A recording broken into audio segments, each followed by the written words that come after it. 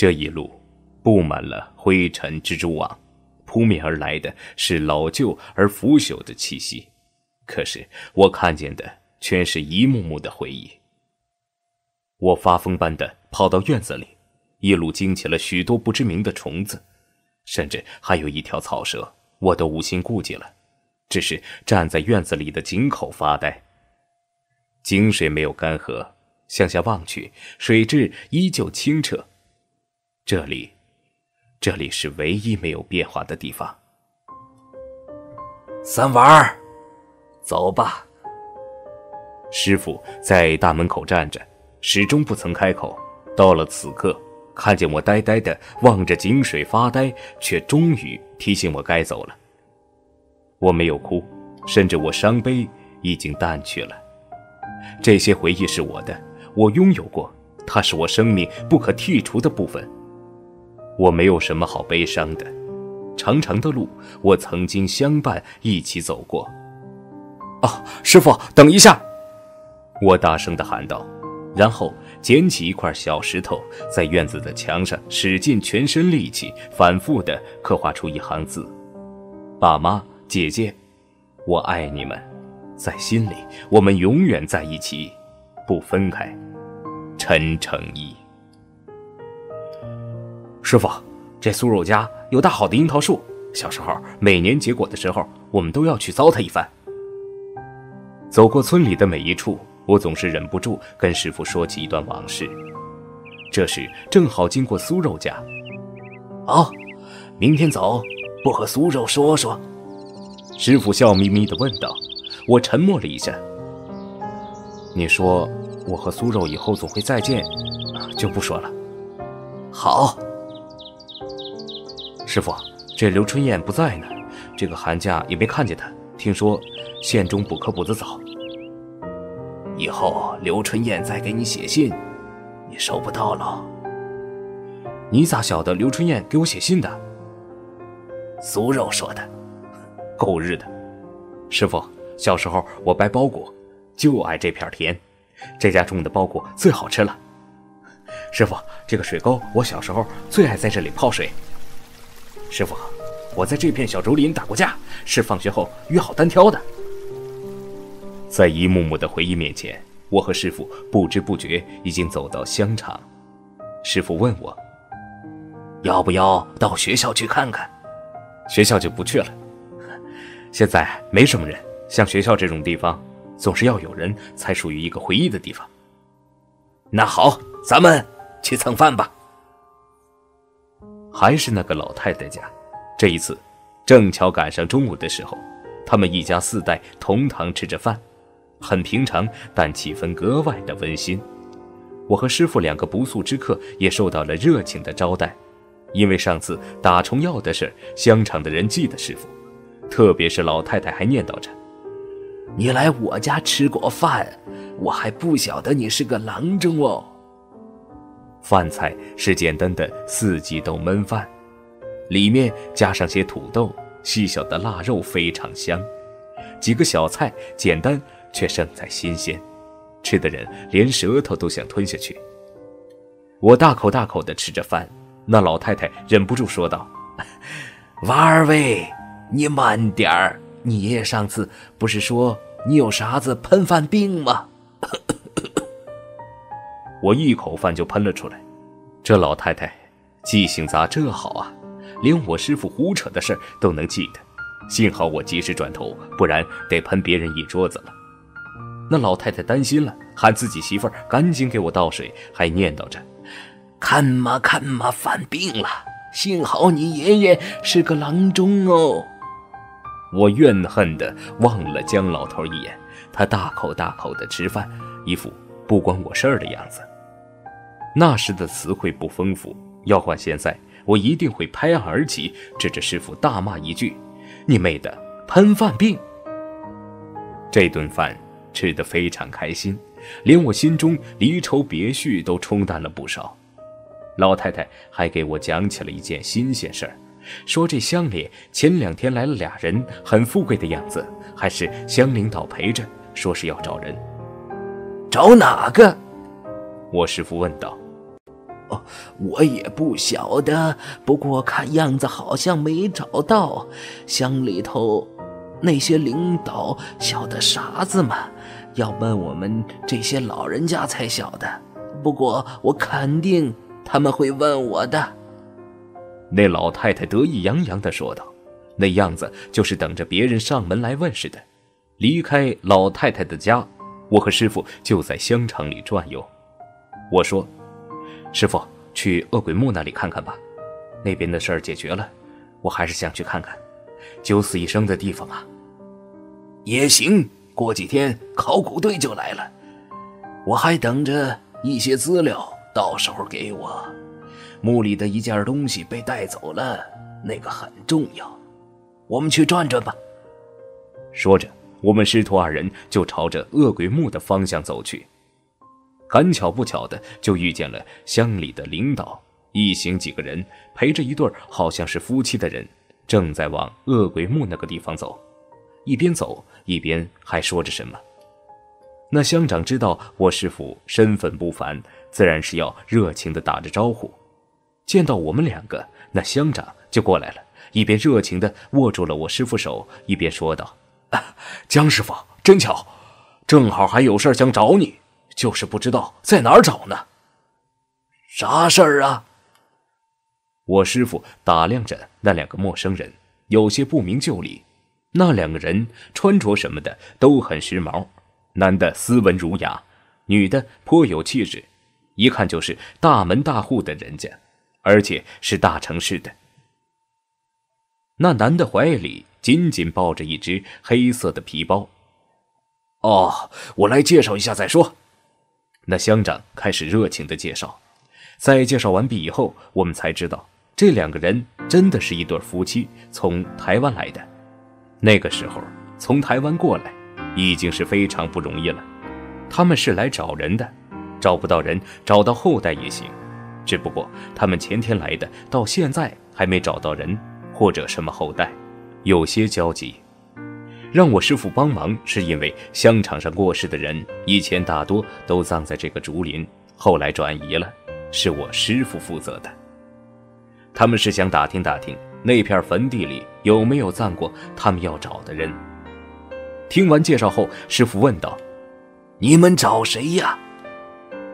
那男的非常诚恳地和我师傅握了一下手，说道：“我们是来完成我奶奶的愿望。”我们想找一个叫李凤仙的人，他以前是非常出名的戏角儿，但听说后来回到了这个小村子。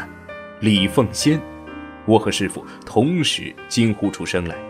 那段悲情的爱情故事，我们是没有忘记的。怎么，江师傅认识李凤仙？他在哪儿？可以带我们去吗？那台湾人一下子激动了，一下子便紧紧抓住了我师傅的手。还是他的妻子提醒他的失态，他才不好意思的解释道：“啊啊，江师傅，李凤仙对我奶奶来说是一个非常重要的人。不瞒您说，我奶奶到死都不快乐，她唯一的愿望。”那男的说不下去了，我师傅则望着他们说道：“你奶奶是不是叫于小红？她去世了，她在台湾。”师傅曾经得到过于小红的照片，并依照着于小红的样子扎了纸人，烧给了李凤仙。可他也得知，后来全国就找不到于小红这个人了，原来是去了台湾。你怎么知道的？那台湾男人吃惊了。算了，跟我来吧。师傅长叹了一声。这晚了整整八年啊。可是，这李凤仙终究还是等到了于小红。凄凄孤坟，几柱清香，告慰的到底是活着的人，还是死去的人？我望着在坟前悲切的男人，心里也不免生出一种世事无常的感慨。原来，那个男人紧紧抱着的黑色皮包里。竟然装的是于小红的骨灰坛子。在伤心过后之后，那男人望着我师傅说道：“你们知道我奶奶和李凤仙的故事吗？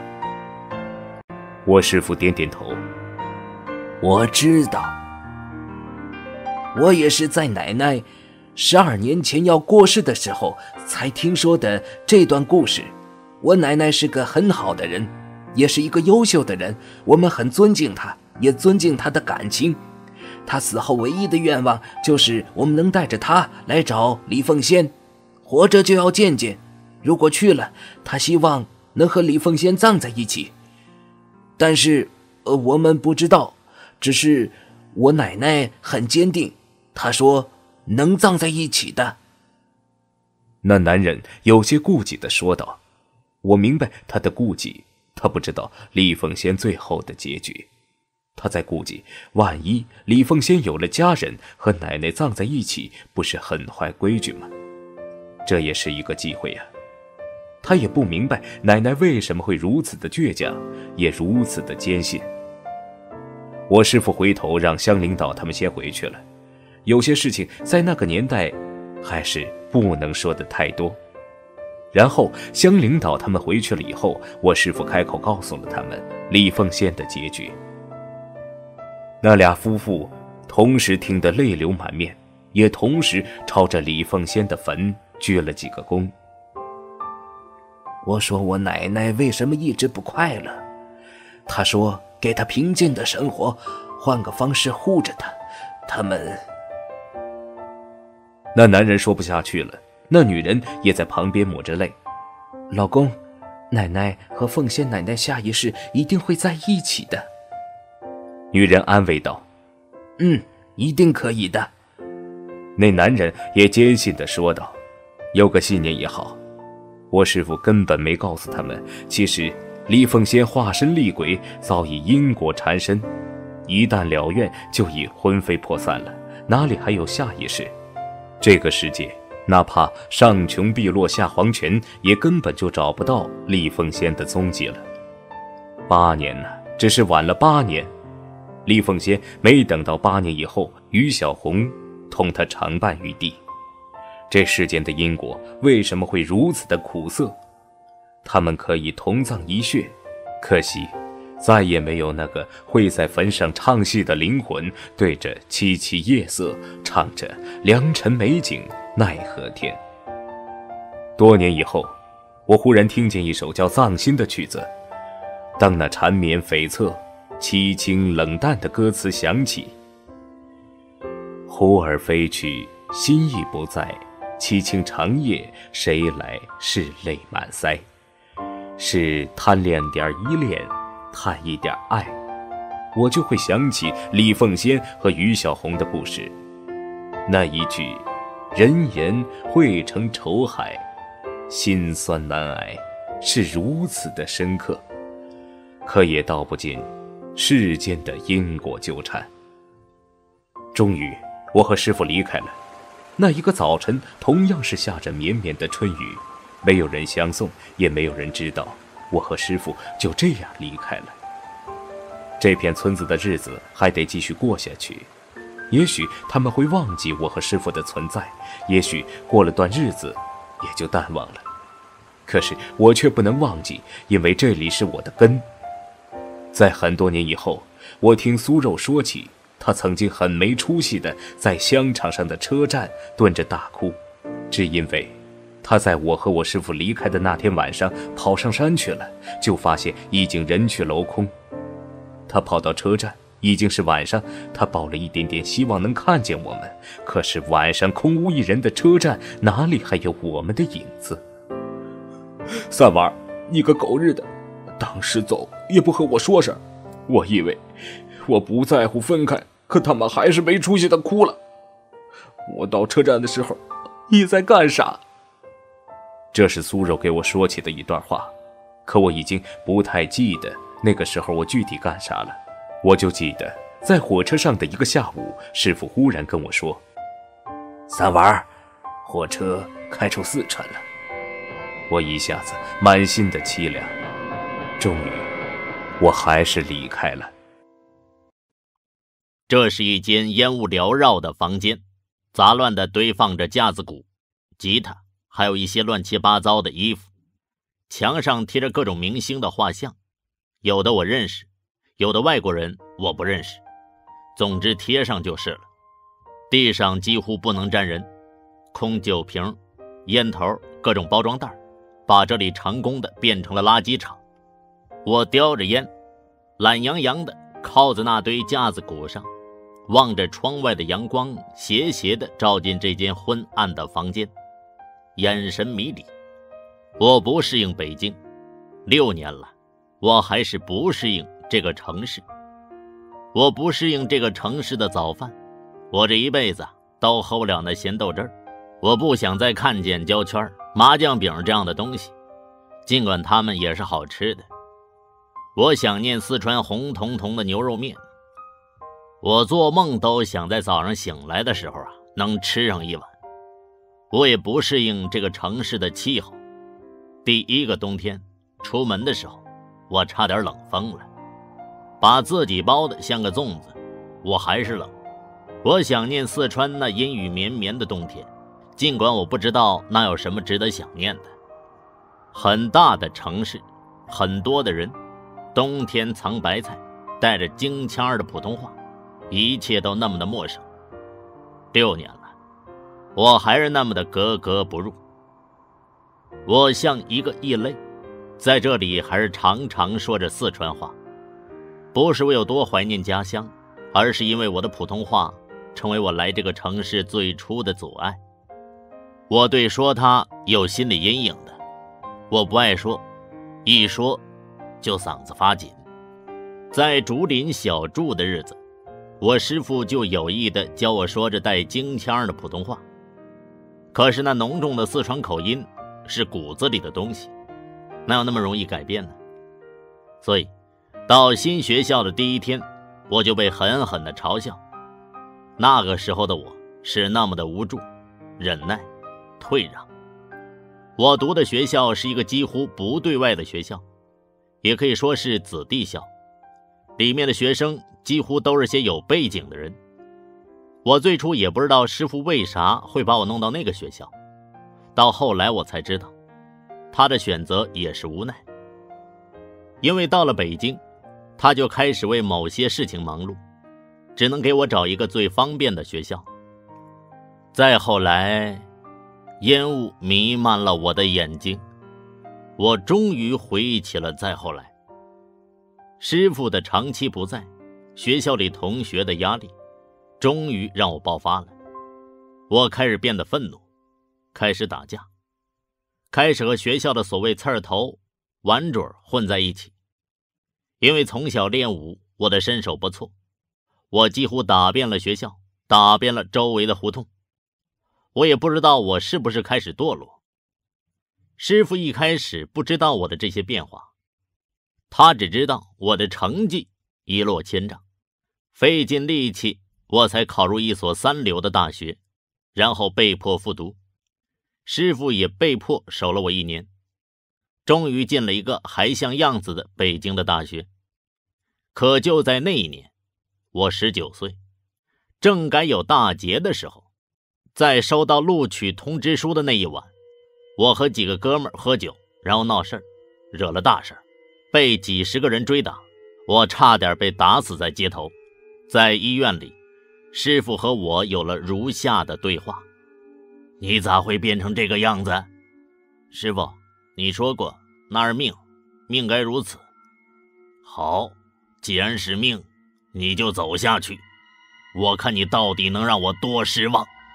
让人失望的是你，你带我来北京，然后你三天两头看不见人影。我多少年没见着我爸妈了，我一年就只能见两次我姐。现在我住院。他们知道，师傅是你变了。师傅沉默了，他最终对我说了一句：“三娃儿，路是你自己走的，不管命运该是怎样，你也难道忘记了本心？我不介意你在特殊的时期有特殊的心态，我只是介意你终究不能理解。”是环境改变本心，还是本心看透环境？我护不了你一辈子，还是你准备依赖我一辈子？我唯一能感到欣慰就是，玄学你还没丢下，你还是学得很认真，每日该做的功课还是做。那番话说完以后，我流泪了。那是我来到北京以后第一次流泪。我软弱的对师傅说道：“师傅，我们回去吧，我们回竹林小住去，我不想待在这里了。”可是师傅只对我说了一句话：“三娃儿，你永远不能逃避。”就在我陷入回忆的时候，我嘴上的烟被一下子拿掉了，然后一个狼嚎似的声音在我耳边响起。我曾经问个不休，你何时跟我走？可你总是笑我一无所有。杨景彤，你丫闭嘴吧！你要再唱，你信不信我抽你？我实在受不了这狼嚎似的声音，忍不住揉了揉发痛的额角，出声警告道：“杨景彤，是我在北京最好的哥们儿。”我们一起打架，一起逗女孩，一起抽烟，一起喝酒。这间房子就是我他租来的。现在组织了几个人，一起捣鼓所谓的摇滚。这小子是当官的儿子，初三，当然初三我重读了一年。高中和我在一起胡混还不够，大学硬找关系和我混进了一个大学。得了，陈成义，还是你丫闭嘴吧。你一说北京话，我就恨不得掐死你啊！那个调调，母猪都被你吓醒了。这小子一直就这样，特爱和我贫。我也不说话，抓起地上一件也不知道是啥的玩意儿，跳起来就朝着他追去。他干嚎了一声，头也不回的转身就跑。要论打架，他可打不赢我，就是和我疯闹，这小子都不敢。追到胡同里，我们两个异类青年。照样被胡同里的大妈用鄙视的眼光打量了一阵。没办法，长到颈窝子里的长发，一件破军装披在身上，长腿脚的裤脚，不被鄙视才怪呢。我们不闹了，毕竟在这一片啊，还得注意影响。虽然是四合院，我们那鬼哭狼嚎式练歌，早就被周围厌烦加嫌弃了。再闹，估计得被赶走了。杨景彤一把揽住我，说道：“陈正义，咱不和这没见识的妇女认真啊！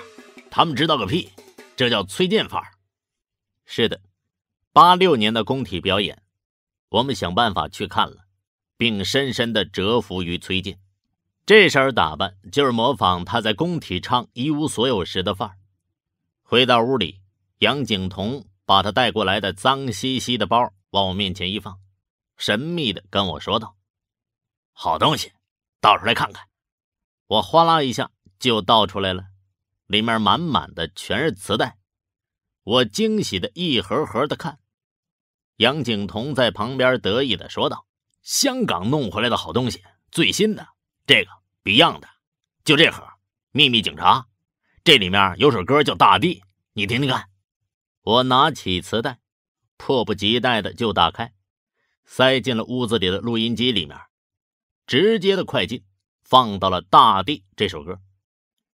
我听见一种完全不同的音乐从录音机里放出来，在那苍翠的路上，历遍了多少创伤，在那张苍老的面上。我看着磁带盒上附带的歌单，不知不觉听得入神啊。杨景彤在旁边跟我说：“哥们儿，不错吧？”好听，可是唱的是啥话呀？土了吧？这是粤语，知道不？粤语。你会这啥粤语？那不废话吗？哥们儿，我人物，粤语算个屁！啊，得，再听这个，再见理想也不错。杨景彤又开始吹牛，而就在我们两个说话的时候，房间的门被撞开，一个人匆匆忙忙的冲了进来。杨景彤抬头一看，冲进来的也是我们的一哥们儿，一起搞乐队的。他张口就说道：“你被母猪追啊？瞧你丫跑那得意劲儿，跟个孙子似的。”杨景彤这嘴巴呀，一直就是那么讨厌。那哥们儿也不理杨景彤，随手抓起个杯子，也不看里面有没有烟灰，咕咚咕咚就灌下去一大口，然后说道：“哎，陈正义，快点回去，我看你师傅回来了，指不定等会儿就去学校逮你。”我一下子就站了起来，我今天是旷课，被逮着了，我得挨揍啊！我匆忙的跑出房间，却被杨景彤一把给拉了回来。别，你小子可别这么回去，不然我们都得挨揍。我所有的哥们儿啊，都怕我师傅，哪个没被他抽过呀？我这个样子是不能回去，还崔健范儿呢，让我师傅看见，他得把我打成猪头范儿，连带着杨景彤他们也得倒霉。操，我还真忘了这一茬了，快，赶紧的，给我找衣服出来呀！不得不说呀，北京对我的影响还是深远的。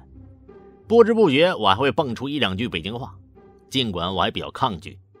杨景彤和另外一哥们儿赶紧手忙脚乱的在这堆垃圾堆里翻出几件合适的衣服给我，让我去换上。白色的衬衣，黑色的西裤，外头套一件蓝色的毛衣。我换好衣服就赶紧出来了。杨景彤忙着帮我整理衣领。他是真心急呀，他可不想被我师傅找个借口一起揍。我师傅要揍他，他爷爷都没办法保他，只得挨着。这些乖乖衣服，就是为了应急情况准备的。另外一哥们儿好笑的抱着肩膀，叼根烟，看着我和杨景彤在那里手忙脚乱的，忍不住说道：“我操，我是看不下去了，杨景彤啊，我不骗你啊，你呀就跟陈诚一小媳妇似的。”杨景彤回头指着他说道：“你丫闭嘴啊，哥们儿，我今儿没空和你扯。你是不是皮子也痒了？想挨酱爷揍啊？”得，那哥们儿脸一下白了，赶紧和杨景彤一起来帮我打理。谁不怕我师傅啊？总算衣服弄得周正了。杨景彤吹着口哨说道：“嗯，挺像那么回事。”说完，又把他的眼镜取下来给我架眼睛上，然后嚎道：“陈正义，去吧。”你这样可以去勾引学校里的学生妹子了啊！不，女老师都可以去吧。哈哈哈！我懒得和他扯，直接问他：“头发呢？头发咋办呢？”杨景彤把我扯到院子里，直接冷水给我浇头上，然后又扯回房间，直接给我梳了个偏分，然后说道：“长是长了点，将就，去吧，哥们儿。英凡你师傅，记得带两个学生妹妹回来啊！你给老子滚！”我笑骂了一句。然后冲出了院子，我疯了似的蹬着自行车，终于在二十分钟以内赶到了熟悉的胡同。我和师傅就住着胡同里的一个四合院里，单独住着，也算是师傅的特殊待遇吧。也就因为这样，屋里没人，特别明显。我得赶在师傅出来找我之前回去。到了胡同口，我没忙着进去。而是深吸了一口气，让自己的呼吸平稳下来，然后擦了擦一头的热汗，再推着自行车走进了胡同。胡同里的七大姑八大姨跟见鬼似的看着我，但是又有一种深深了然的眼神。他们早就熟悉这一套了。每当我装的斯斯文文的时候，准是我爷爷。他们以为师傅是我爷爷。回来的时候，我目不斜视，一本正经，在心里却骂着：“这些大妈应该不会给我师傅告状吧？”到了门前，我深吸了一口气，推开了院子门，推着自行车进去了。一进去就看见我师傅坐在院子里，旁边一个小鸡，上面是杯盖碗茶，闭着眼睛正在养神。我在心里预演了一遍，然后开始大声的、惊喜的喊道：“师傅，您回来了！”我师傅睁开眼睛，似笑非笑的望着我，说道：“哟，近视了？我记得我教过你保护眼睛的法子，咋就近视了呢？”我一把把眼镜摘下，心里骂了杨景彤一百遍。我说我蹬车的时候老是摔筋斗呢，原来忘了眼镜上架了副眼镜，好在杨景彤就是浅度近视，不然还不得摔死我呀！哎，师傅，最近学习任务重，看书多了些，这眼睛就有点近视了。我讪讪的笑着，解释道：“真的？”师傅扬了扬眉毛：“真的。”我郑重其事的说道：“那好，你就一直带着吧。”师傅淡淡的说了一句，我一听就想去撞墙啊！刚才心里有事儿，还没察觉到啥，可这下让我不近视的人戴着个近视眼镜，不得愁死我呀！师傅，我这假性近视一直戴着不好，我一阵风吹过，我头皮被冻得一阵凉啊，忍不住缩了缩脖子，换谁受得了啊？冷水泼上去，又骑车出一头热汗。这风一吹，呃，师傅望了我一眼，直接就打断了我的话，说了句：“搬张椅子过来，坐我身边来。”我唯唯诺诺的照做了。师傅又闭上了眼睛，说道：“把我教你的十五个手诀的配合口诀给我背出来，还有手诀的解法，给我解一次。”我就知道。师傅回来第一件事情，绝对是考教我的功课。好在我在混，这些东西总是不会落下的。立刻一本正经的照师傅的吩咐去做了。就这样一问一答，两个多小时过去了。师傅抿了口茶，最后评论了一句：“差强人意，还不算太熟悉。这段日子。”也不知道你荒废了练功没有？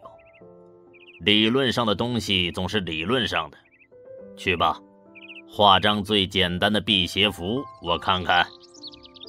我自然不敢怠慢，搬出桌子来，拿起符纸，平心静气儿的开始一板一眼的画符。这样的符确实是最简单的，连接符煞都不用，只要能传达功力于符上就行了。我现在的水平也就只有画这样的符。符成之后，我的脑袋一阵晕呢。存思结功力于符纸上，实在是有些费力。我小时候也画过辟邪符，只不过那时还不能称之为完整的辟邪符，效果也只有使用的一瞬间。真正的辟邪符是可以在身上存放三年的。待符纸干透。我恭敬地递给了师傅，师傅接过符，仔细地看了一遍，然后闭上眼，细细地感觉了一遍，说道：“功力还不到，不过这段时间你也算没有偷懒。”我终于放轻松了下来，看来今天的考验是完成了。就在我庆幸过关的时候，我师傅忽然开口说道。这次我出去了三个月，对不对？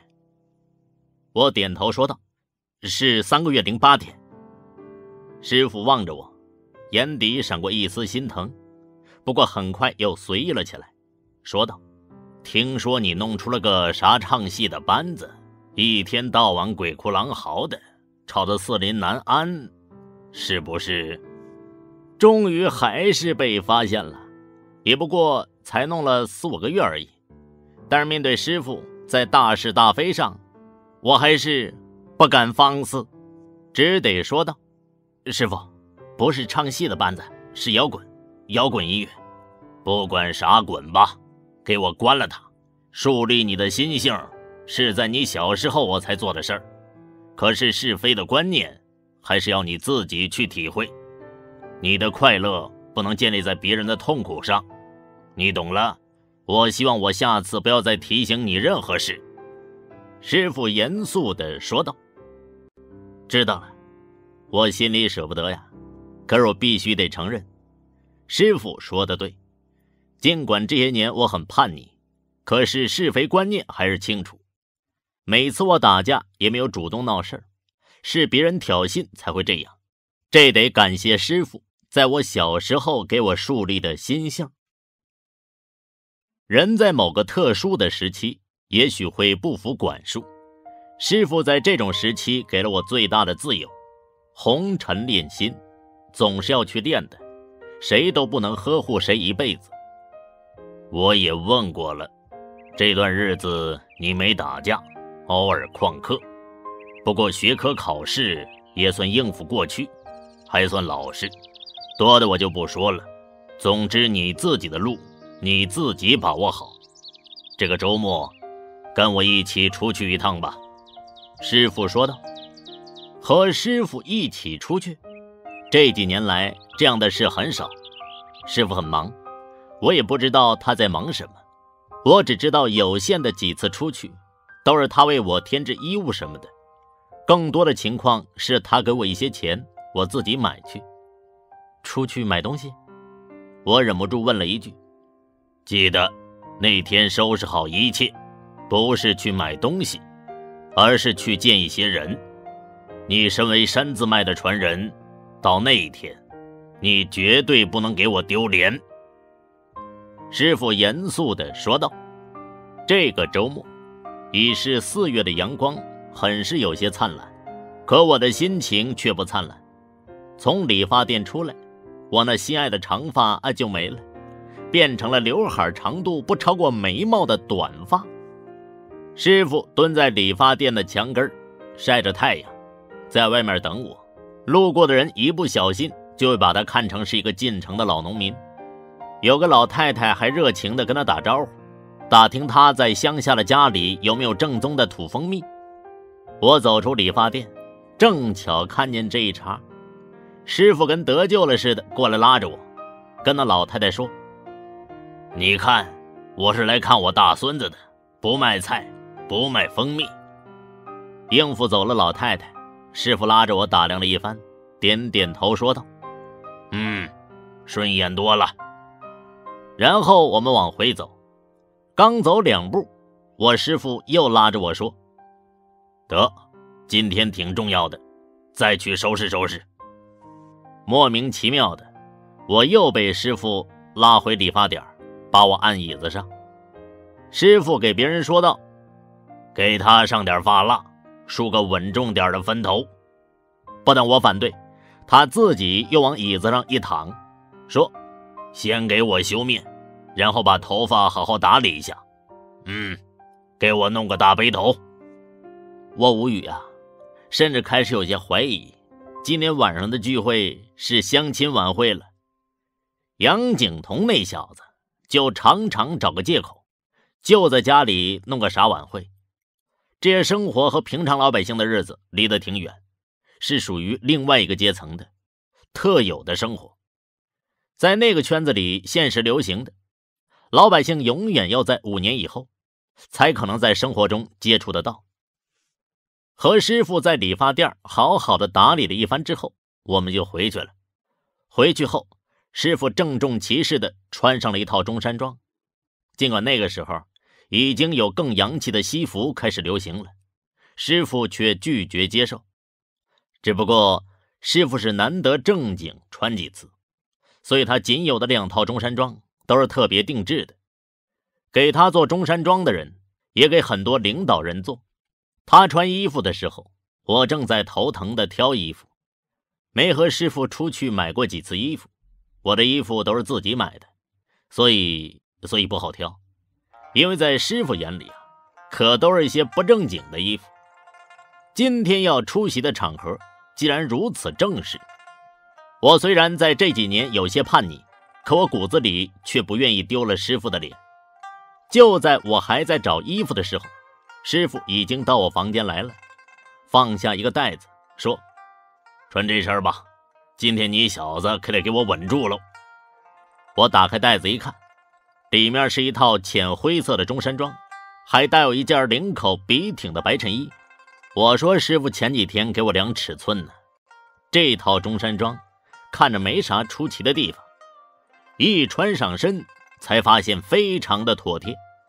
看着镜子，四六分的分头，配着这套中山装，我显得非常稳重，整个人起码成熟了五岁的样子。把这个带上。”我师傅翻出了一件东西，递给了我。我看着差点晕过去。这不是杨景彤拿给我的眼镜吗？咋师傅还要我戴上？师傅，我不近视啊。我觉得还是说实话吧。我知道，让你戴上你就戴上。你是山字脉的人，形象上就得给我争光。师傅嚷嚷道：“到底啥事儿啊？”我有些不情愿的把眼镜戴上了，一边非常好奇师傅到底为什么如此郑重其事。嗯嗯，我的徒弟还不错，能撑住门脸了。看着我戴上眼镜，师傅终于满意了，带着我出发了。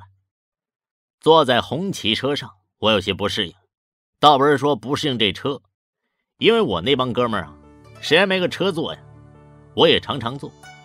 我不适应的是，师傅竟然坐这车。师傅是有权利调动一辆红旗车作为专车的。只是我们来北京这多少年了，他根本就没有用过一次。今天到底是怎么了？连车都那么郑重其事的。师傅坐在我旁边，靠着椅背闭目养神。我终于忍不住开口说道：“师傅，你要再不跟我说清楚，我绝对下车不去了。”师傅睁开眼睛望了我一眼，沉默了好一阵，终于才说道。今天去见你的几个师伯，还有你的师弟们。来北京那么多年了，我一直没让你见过，因为我自己也不见。